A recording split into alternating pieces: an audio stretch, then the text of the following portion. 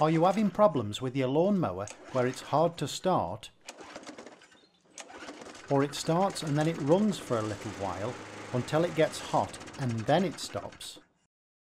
Or it starts but it's misfiring when it's running? Has it got poor fuel efficiency? Can you smell fuel when it's running? Well, if so, then it could be a faulty ignition coil and in this video I'm going to show you some of the faults that can occur with ignition coils and as usual you can expect some detail and plenty of visuals. Okay so this video is a follow on from my other video how a lawnmower ignition coil works. In that video I went into the inside structure and function of what goes on inside the coil so in this particular video, I shall be showing you what areas that I know of personally that can get damaged in order for that coil to fail. So I hope this will bring you a better understanding about what's going on inside the coil. So let's get to it. When we're talking of the coil, we obviously have the sparking system in mind, because of course the coil produces the spark for the spark plug to allow the combustion engine to run. So with that in mind, what I'd like to include in this video is not just the failings of the coil itself that prevents the spark from occurring, but some failings around the coil. Failing sparking system isn't always just down to the coil. So at least I want to just skip over some of the reasons that can cause a failing sparking system as well as the coil. So if you're trying to troubleshoot, this will certainly give you some detail there to help you with that. So before we go diving deep into the coil, if we can't get a spark, then it's best to check the spark plug, because this is undoubtedly a more common cause as to why we can't get a spark. And so if all is okay with the spark plug, is it the stop mechanism? Is there some fault there?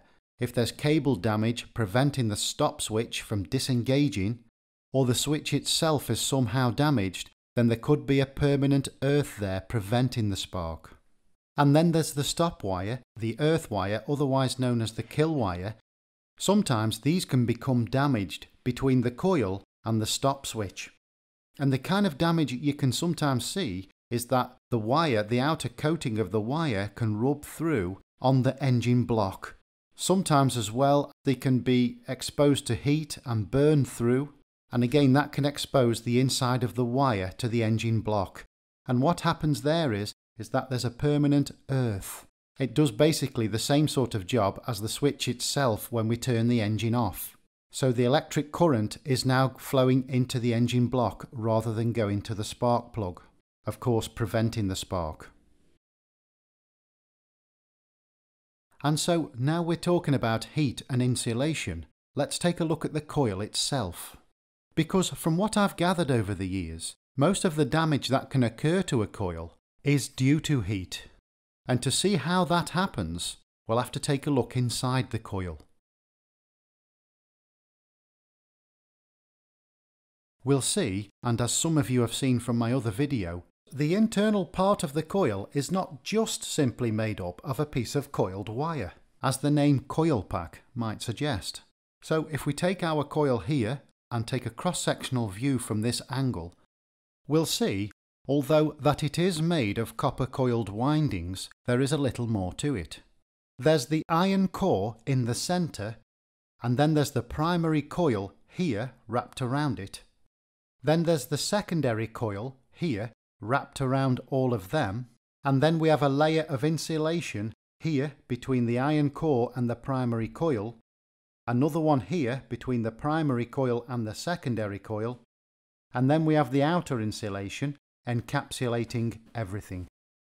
The wire that makes up the coil windings is also insulated itself. It has an outer insulation like this. So although the coiled wire is wound tightly together and is touching each other, it's only the outer insulation that's doing so. The actual copper wire of each don't actually physically touch.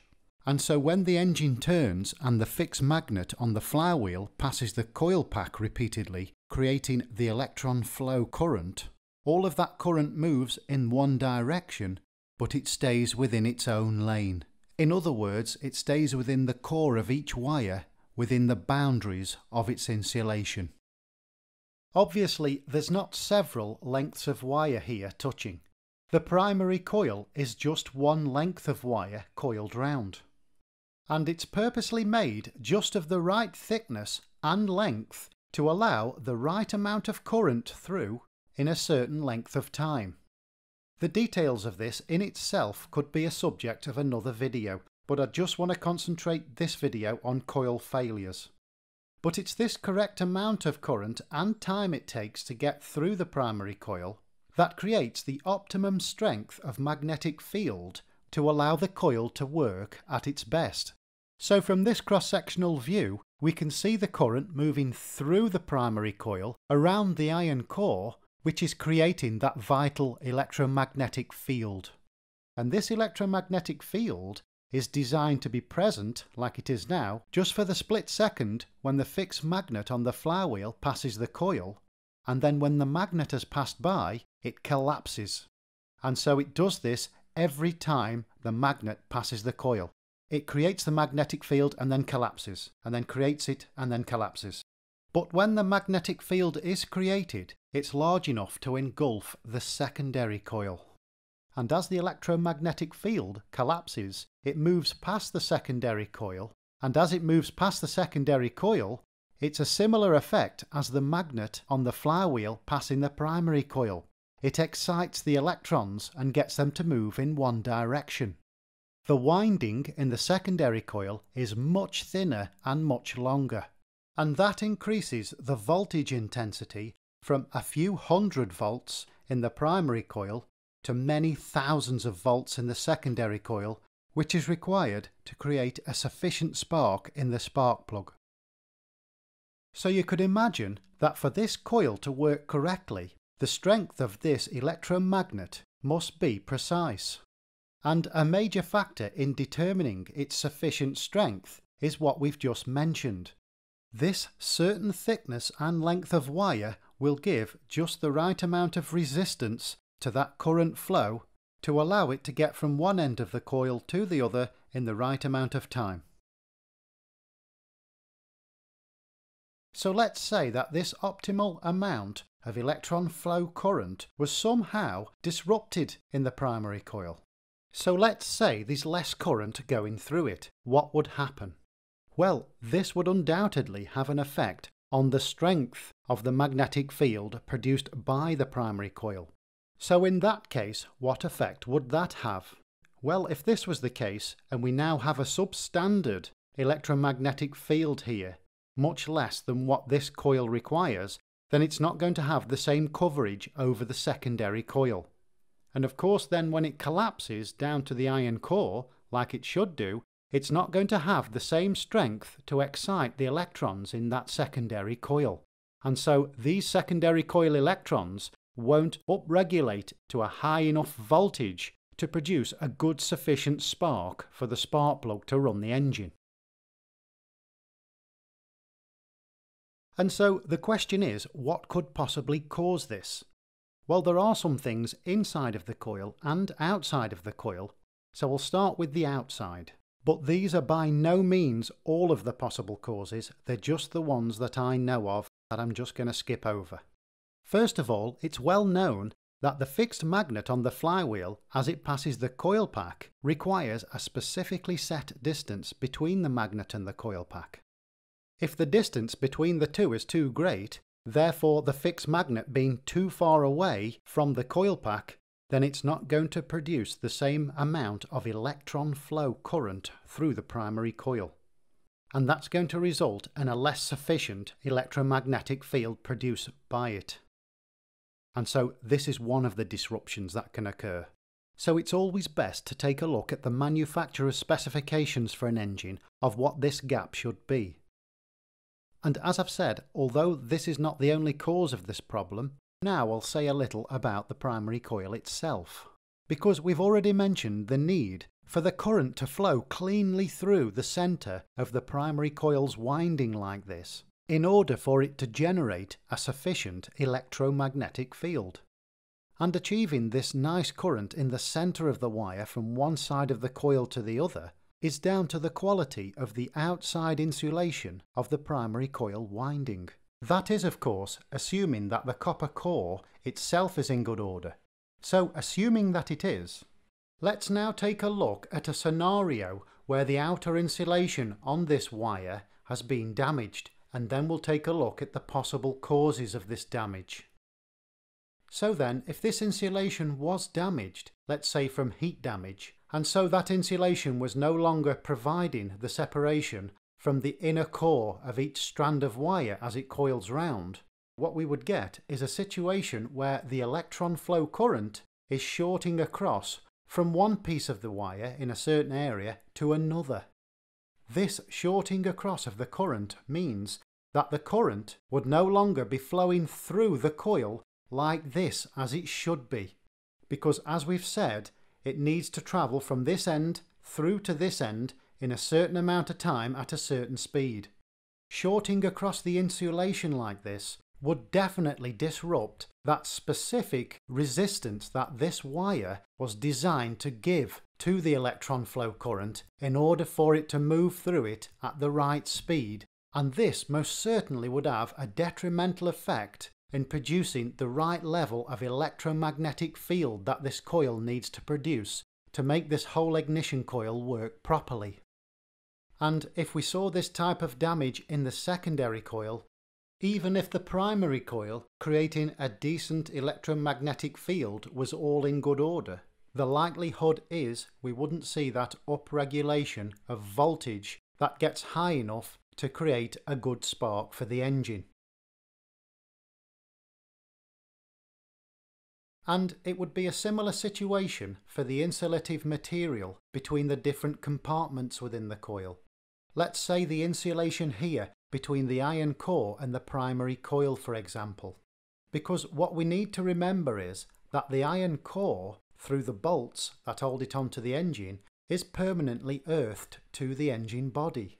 So if there was insulation and coil damage here, then you can see that the electron flow current would take the quickest and easy route out of the coil, and that is to the nearest ground. And that means it would arc straight through the insulative material here into the iron core because it can sense a ground.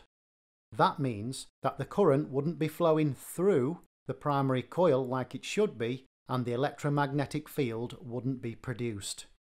If there was insulative damage here between the primary coil and the secondary coil, again we can see there's going to be shorting across from the primary coil to the secondary coil in an area here which is unnatural and undoubtedly that's going to have effects on the way that the primary coil can create the electromagnetic field and also downregulating the effect of the secondary coil. If there was damage to the outer insulation, exposing the secondary coil to the environment, then areas like this can gather in moisture. As we know, water is a good conductor of electricity. The current would short through the water if the water was bridging the gap between the coil and the ground of the engine body. This would be the path of least resistance for the electron flow it would find that path here rather than go to the spark plug and produce a spark for the engine to run correctly. And if this damage is simply near another area of the engine that's aground, very very close to it that is, then it's highly likely that this electrical current in here could sense that ground and arc across to it, producing sparks as it does so. So then, if this level of insulation damage was to happen within the coil, then what's a likely cause of it? Well, there may not be one specific cause, there could be several, but a likely culprit is overheating. So that's the key player here. But potentially, how could these coil windings get so hot that it damages their insulation? Well, believe it or not, heat damage to a coil is usually hardly ever down to the coil itself. It's normally down to factors outside of the coil that cause the coil to overheat inside. One cause which I've heard of, which may be related to larger engines like in cars, etc., is the engine itself overheating, the cooling system not working correctly. Of course that would create other damage within the engine, but having the engine too hot would transfer that heat into the coil and as the coil's producing its own heat anyway, with the electric current going through it, on top of the fact that the engine is overheating, then the overall heat can be unbearable to the coil. And that, in no doubt, could affect the integrity of the insulation within the coil. So coming back to smaller air-cooled engines like on our small walk-behind lawnmowers and even chainsaws etc, I have in the past known these types of coils to what we consider as being burnt out. So if that's the case, then it's likely that these smaller engines, for whatever reason, could overheat enough to damage their own coils over time. And the thing to remember about this is that the coil won't necessarily just give up and go bad if the engine overheats one or two times. It's working in this heat time and time again over long periods. That's the most likely cause of this type of coil burnout. But in any case, as well as the heat damage to the coil and the insulative material to these coil packs, there are other delicate components such as resistors, transistors and diodes etc. within the coil that would undoubtedly get damaged due to overheating. We've covered how overheating can possibly damage the coil and how an overheating engine can contribute to that. But without overheating of the engine, can there still be heat damage to the coil? The answer is yes, and let's take a look why. The ignition coil itself, particularly the little more advanced ones, are able to modulate and regulate the amount of current that's produced to be given to the spark plug. So these regulators within the ignition coil module regulate how much current is going through the spark plug to make sure that it's getting enough current to produce a sufficient spark.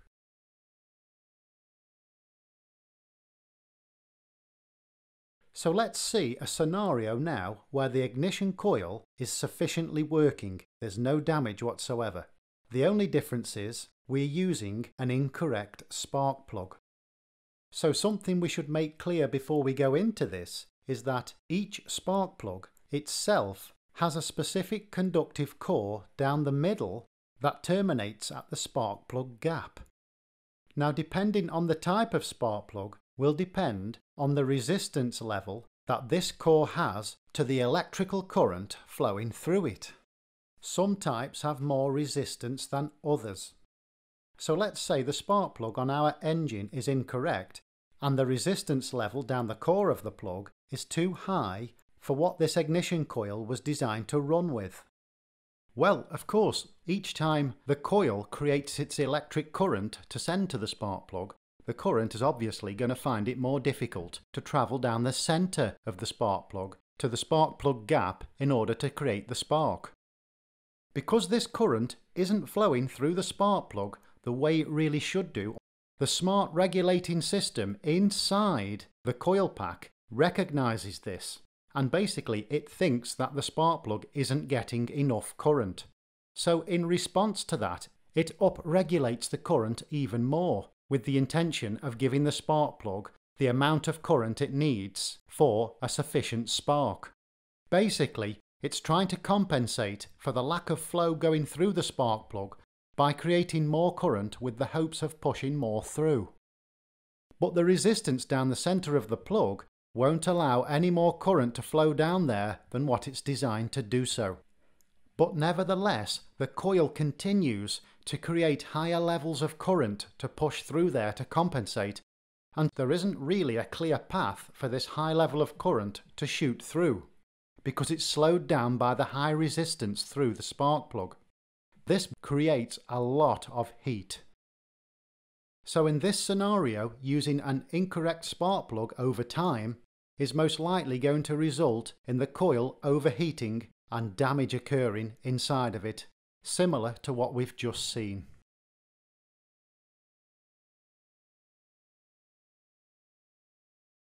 And now let's look at another scenario where the coil is working perfectly and the spark plug is correct. And the only problem being now is the spark plug gap is too wide. Well, a similar thing is going to happen now. the coil will produce the electrical current which will go towards the spark plug. It will have the right level of resistance through the plug for this particular coil. But because the gap is too wide, the electron flow current finds it difficult to arc across that gap to the ground electrode. And that's because it's too far away for those negatively charged electrons in the current to sense the positive charge of the ground from that ground electrode. And similarly to the last scenario, this is causing a restriction in that flow of electrical current out of the system. And again, the regulating system within the coil recognizes that this current isn't flowing out like it should be. And as before, that's likely to produce a lot of heat in the coil and result in the kind of heat damage to the coil that we've already seen. So in this scenario, where the spark plug is completely correct, the resistance to the electrical flow is all caused by nothing more than the gap.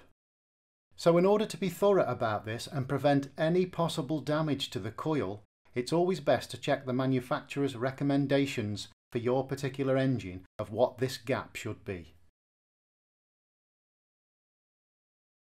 And it's this kind of coil damage, by the way, that can apparently occur when we test the spark plugs. Because what we're always told is when we remove the spark plug to test to see if there's a spark, what we generally do is remove the spark plug and then plug it back into the spark plug cap and then earth it out onto the engine body and then turn over the engine.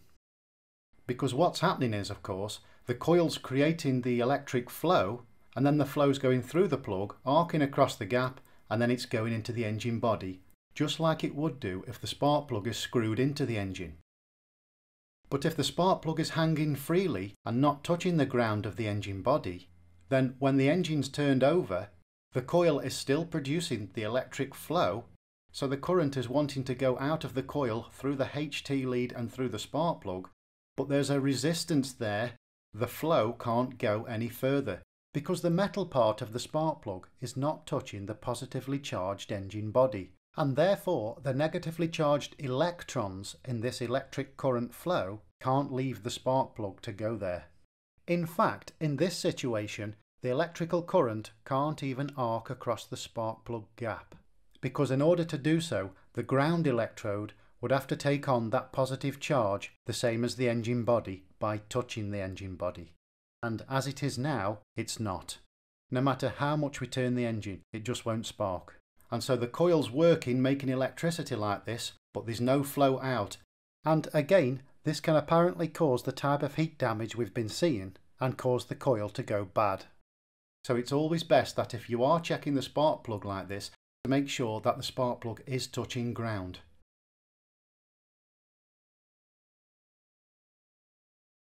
So in light of this, another similar situation can be when we want to remove the spark plug to turn the engine over to check if the engine is turning over freely, to see if there's any seizures of the components etc. Because of course removing the plug allows us to turn the engine over much freer. So in doing that, to prevent any damage to the coil, then it's always best to make sure that the stop switch is in the off position. Because in this position, any electrical current made by the coil will just go out through the kill wire and straight into the engine body, and it won't cause this kind of heat damage to the coil. Okay, so we'll move on now to something that's said to be a very common cause, and that is the high tension lead or the HT lead as it's more commonly known. And these leads are specially designed to carry high voltage out of the coil to the spark plug. But each type of lead that's designed for a certain type of coil is designed with a specific resistance to current flow for that particular coil. And because they are made for each other, electricity flows out of the coil through the lead, through the spark plug and into the engine body correctly and at the right flow for this particular coil.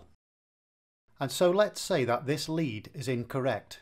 This doesn't happen too much these days with lawnmowers because the leads are generally bonded to the coils. But in the past I have known it where incorrect HT leads have been fitted to coils, usually when some repair work has been done. The problem with that, as we've already seen, the current flow produced by the coil needs this HT lead to be correct in order for the flow to flow out of the coil correctly with just the right amount of resistance. And so in some cases these HT leads can be fitted without any consideration to it being the correct resistance for the coil. So if one is fitted to this coil let's say and the resistance through the lead is too high, we've got the same sort of problem as we did when we had the incorrect spark plug. The electrical current is made in the coil and it's finding it difficult to go through the HT lead to the spark plug and to the engine body. And that again produces a lot of heat and potentially heat damage. But let's say this lead is correct for this particular coil, we can still have issues here in terms of not allowing that electricity through at the right level. And that is if there are slight breaks and gaps inside this lead. Obviously you probably wouldn't be able to see this, but if there was a slight gap in this lead, preventing the electricity from just flowing out the way it should do, then it's got to arc across that gap. And if the gap's too much, then of course it won't be able to arc that far. Also the connection between the HT lead and the spark plug cap. It's important to make sure that's a good solid connection and there's no slight gaps there because as we've already seen, if there is slight gaps, it's going to cause a resistance for that flow to get out of the coil and it's going to make the coil work harder and cause problems.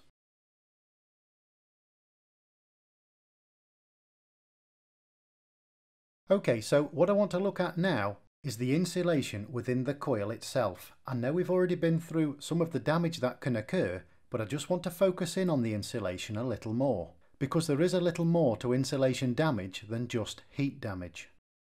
So we have all this vital insulation within the coil, keeping the compartments of the coil separate and making the coil work the way it should be.